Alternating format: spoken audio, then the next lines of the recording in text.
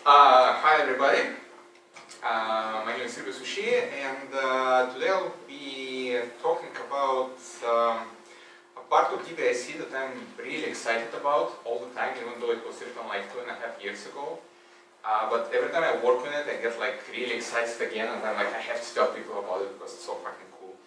Uh, and um, the reason this time uh, I got so excited about it was uh, this commit. Uh, that basically in the source generator it's paid off by about 15% to replace every semicolon with a comma.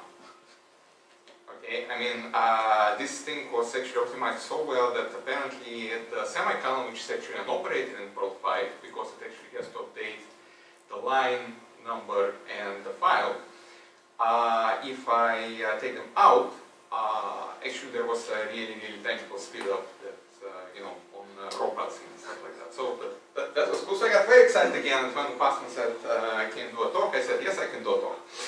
And um, then I went to, you know, try to search for this talk and I realized that I cannot put this in like 20 minutes or even 40 minutes or even an hour. That's like a day workshop. So instead I'm not going to show you uh, how it is done inside uh, because even though it's about it's about 500 lines of code altogether. Uh, it took about two years to write, um, you know, little by little, and every time I look at it uh, and try to like break it apart, it doesn't work very well. So instead what I'm going to do is I'm going to show you how it actually works, like what, what, what does it do, right? So, um, yeah, there we go. Um, okay, so what, what's the point of this entire thing, first of all? Uh, how many of you work with databases? Exactly. Okay. Uh, every time you get something from a database, you pretty much get a two-dimensional uh, structure, right? You get you get basically a, a CSV file, more or less, right? Uh, most of the time, when you deal with relations or things like that, uh, or even if you deal with just one table, you still want to organize it in a nice hashref with uh, you know nice names and stuff like that. Or if it is dealing with relational data, you would want to uh, go ahead and actually make uh, nice nested uh, you know, Perl data structures which then can be used as JSON or stuff like that. So uh, let's see how this works. Uh, first I'm going to uh, export a whole bunch of stuff so we don't have to type this every time. And then we're going to try, oh, I'm going to use four tables from our test schema and uh, I cannot keep both on the screen at the same time, but they're, they're, really simple and there's nothing about them. So we have an artist which has multiple CDs, which have multiple tracks. Each track might be excellent and somebody might make a single CD based on that one, uh, which will have some other tracks and it's actually a CD on its own and so on and so forth. So that's our uh, mini test scheme, so to speak. And uh, if somebody wants to pull, pull this up on their phone, that's the actual address for it. But anyway, so uh, with that in mind, so let's see. Uh, we already loaded our uh, test schema and so on and so forth. Uh, let's get uh, the CD source and uh, execute this parser thing that we're talking about. Um, this is not important right now, this is the important part. So basically we're saying that we want to be able to parse a single column uh, result of which the first column is typed. Okay, so let's see what this is going to produce. It's going to think a little, and it's going to give us that. It's a piece of Perl. Very simple. Uh, all it really does is uh, go through an array that we pass it in as the first argument, right here, and replaces every element of this array with a, uh, a hashref with title being this element that we just replaced. So pretty simple. Uh, this is it with a more uh, columns. That's what it looks like. Okay, so uh, why is this interesting? Because uh, what we're going to do with this thing later on uh, in the case of DBIC, we're actually going to take a result directly from the cursor, feed it to this thing, and in the same place where we had the array ref that came from the cursor, we're going to have this nice, uh, uh, this nice data structure neatly replaced in place. Now, that's not really interesting though, um, because, well, you know, we could just use uh, slice from DBI to be able to do the same thing, right? So let's uh, go a little further. Now, let's say we want the title of each CD and we know that on our cursor the second column is the title of every track. Okay, so what this tells uh, DBIC is that the first column is from the main source, the, the, the very central thing that you are asking about, so CD in this case. So the first column will go into title. The second column will be uh, a relationship once removed from CD. So the relationship will be tracks, and we're going to put the second value into the title um, slot, so to speak, of this related object. So let's see what's, what's this is going to look like. That looks like that. So what this does is, the first part is the same.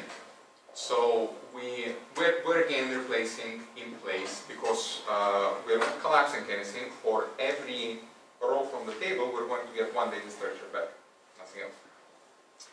So what do we do? The first column will go into the first hashref, which is uh, called title. And the second part will get the so-called prefetches.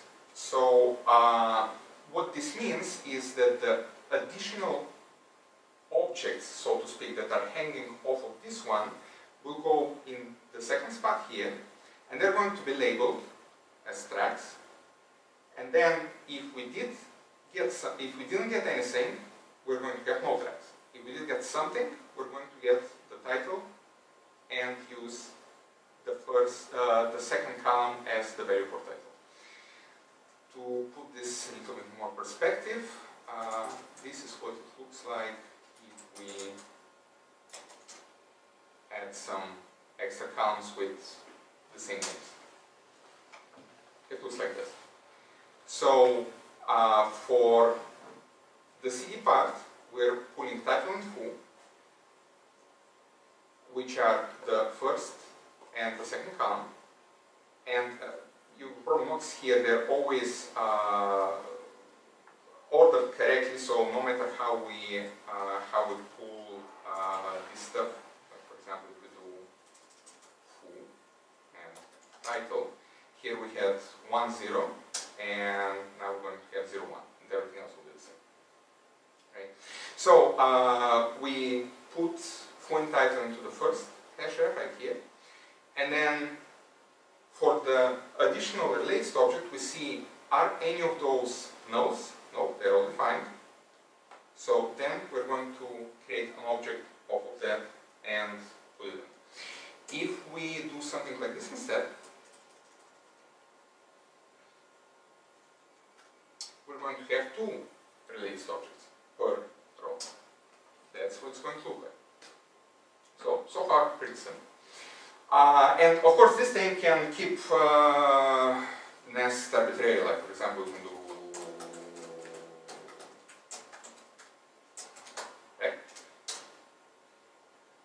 and that's what it's going to look like. And all this generated applying to everything. And the best part is that the only thing that we need to give it is pretty much this. So we're telling it, okay, here is a result for you columns where we expect this result to go. The, the entire thing is stateless, so we can pretty much cache it uh, and not have to wait for this um, thinking, but instead we can put to this or something like that and then you know have it ready at the moment. Uh, now, but again, this is something that you cannot do with DBI. You, you cannot do this nested stuff easily, but you can uh, do it relatively trivially with uh, some, you know, some walking, some tail recursion, stuff like this. So it's not going to be that much of a win.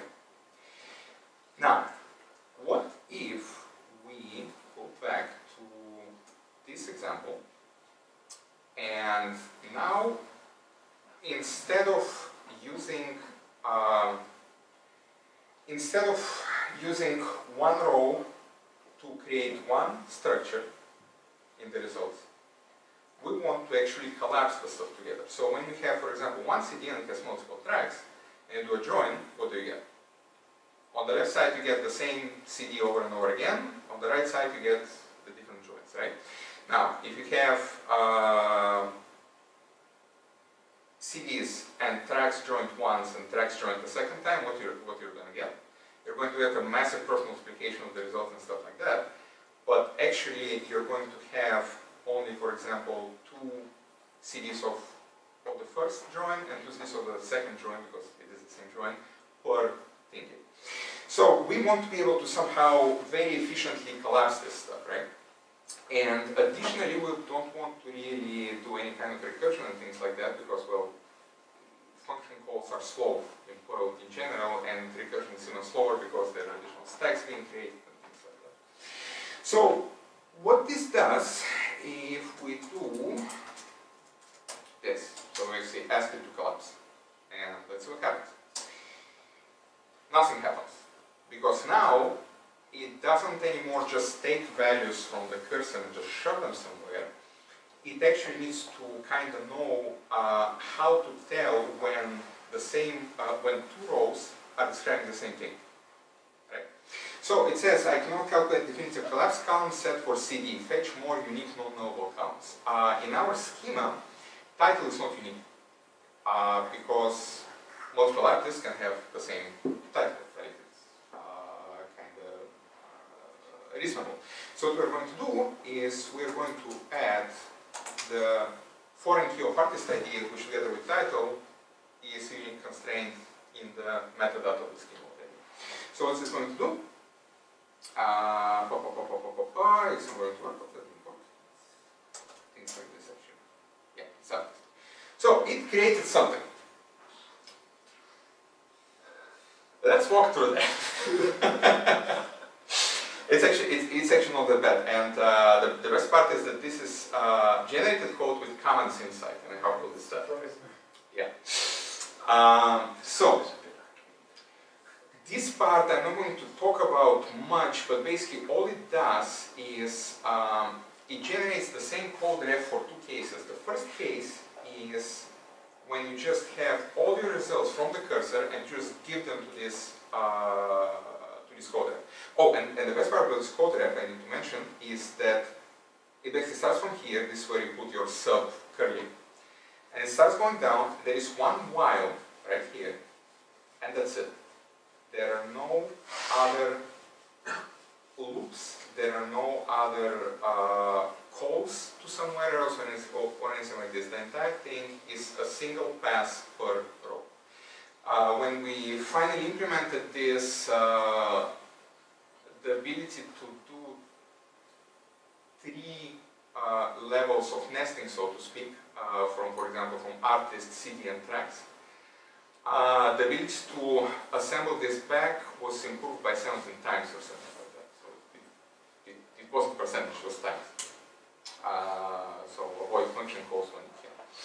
So the reason uh, this part here on the top exists is that you have two cases. In, in the first case, you have all your rows, the entire result set in this array over which you iterate. But in the other case, this is this might be too much memory. So this same code ref has the ability to get a second argument, which is another code ref, which basically will call next on your cursor every time. So this will keep running until the master row, the, the leftmost one, changes. Then it will stop, and then you will invoke it again for your next single result with all of its children hanging over. But uh, other than that, this the, rest code ref is the same. So what do we do? Uh, while we start iterating over the the first argument this uh, code ref the actual array that has all our results. Right? Uh, we have we keep track of position. We keep track of what we call a collapse index. The collapse index is something that uh, looks at our inflate map and basically says, okay, I have one kind of object, and then I'll have another kind of object. So basically we'll have the main one, and then we'll have tracks. And in the collapse index, for every uh, scene type of object, so to speak, it will have a slot. So the objects of CD will go to collapse IDX 0, the tracks will go to collapse IDX 1, and so on and so forth. And then they'll be hit on stuff like this. So this is uh, means the following. So anytime that we see an object of type CD, we're going to shove it into the sub-hash refs of denoted by the first column and the second column of the stuff that came from the database. Now, why is that? Because here, the first column and the second column are the unique part of CD. So every CD is unique by these two values, and we already checked they're not going to be null, and so on and so forth. So anytime that we refer to this thing, we know that we're referring to a particular CD. That's why every time this loop you know, makes a revolution, so to speak, we always can put the pigeonhole in the right, in the right spot. Uh, the same thing uh, goes for the tracks. Now, the tracks are being only referred to by the second column. Nothing else refers to the first ones, but every track belongs to a parent, right? Which is the CD, which is being defined by the first and the second column. So anytime that we see this, we will be able to refer to the correct uh, track and so on and so forth. So, uh, going further,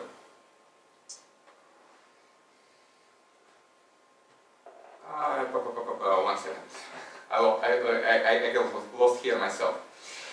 Uh, so, we start going down uh, the, the result, right? And look, okay, do we, uh, first we go ahead and we make the first CD if we have never seen it before. So, is it defined? It's not defined. Let's go forward a little bit and make this CD right here. So, its artist is the first column, its title is the second column. Let's go further to the relations. Is the second column defined? It is? Okay. Then we're going to add a collector into this CD that we're working on right now. This part here is equal to this part here. And then we're going to add tracks into this object that we just created. So we're creating our uh, empty collector for those multiple tracks. And then, sorry, made a mistake. If there are no related tracks, there is nothing defined here, we're just going to make an empty collector, nothing else. Otherwise, we are going to push into this very same collector of tracks, we're going to add the tracks uh, object and we're going to create it right here. And then this is the end of the while of this while loop because we'll keep uh, going through the actual rows that we supplied it and it's going to start replacing one by one the positions in this very same array, but because we're collapsing stuff, the array will have to shrink at some point. So basically we keep to this loop and we go to the first, um, the first position, and then let's say we have one CD and we have three uh, tracks for it.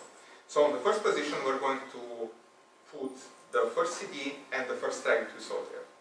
Then we're going to go on the second position in this uh, array. We're going to say, aha, this is the same CD that we already seen before. We're going to assemble its track only, and we're going to put it back on the CD that we've already seen.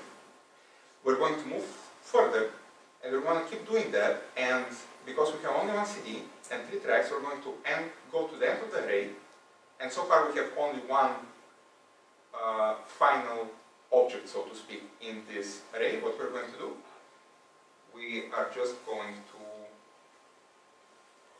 cut this array to where we need to stop.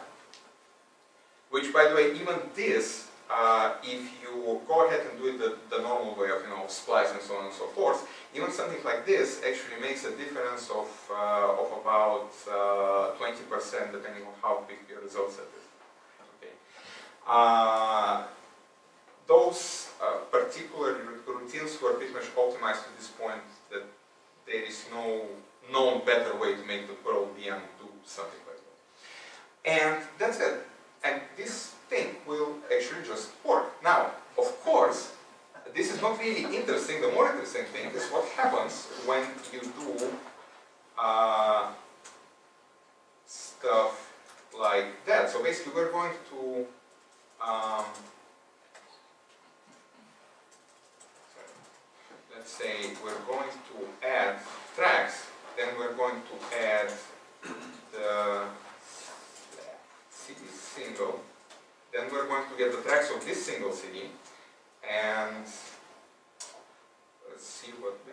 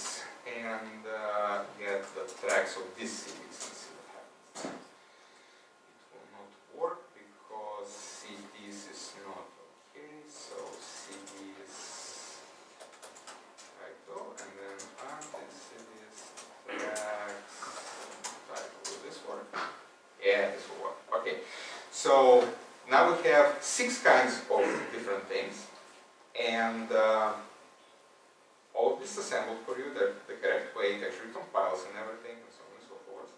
And it just works. Now let's see it in action. So uh, so far we have been, um, so how, how many counts do we have here? We have one, two, three, four, five, six, seven columns, okay? So what we're going to do is we're going to uh, tell this thing that go ahead and create a ref from it.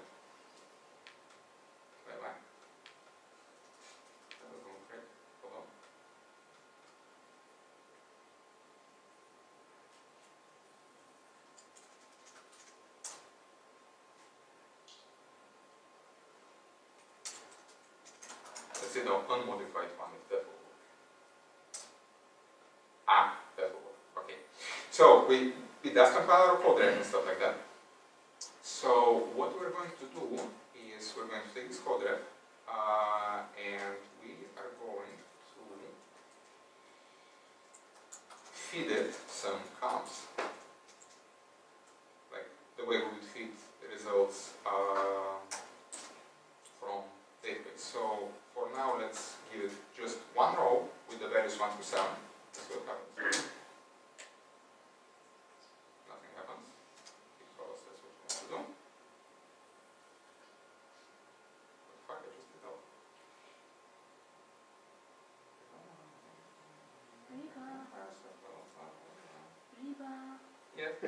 yes, You're already Over 20 minutes. Over 20 minutes. Three more minutes to get this to run. Okay. Uh,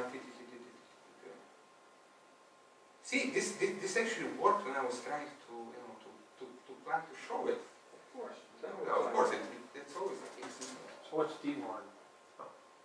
Okay, so the code ref is there. Ah, okay, of course. Uh, because this thing returns two things: the, the row, the row, the row parser maker returns a thing that we need to check after that, which columns might be problematic to double check them in case somebody was doing something bad. So now it will actually work. Uh, like this. There we go. One through seven.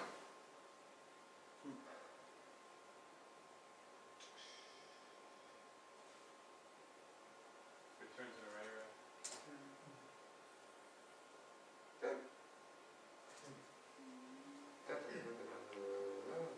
Make it. Just, just leave it, yeah, and just as you were and see what. Zero is just a. uh,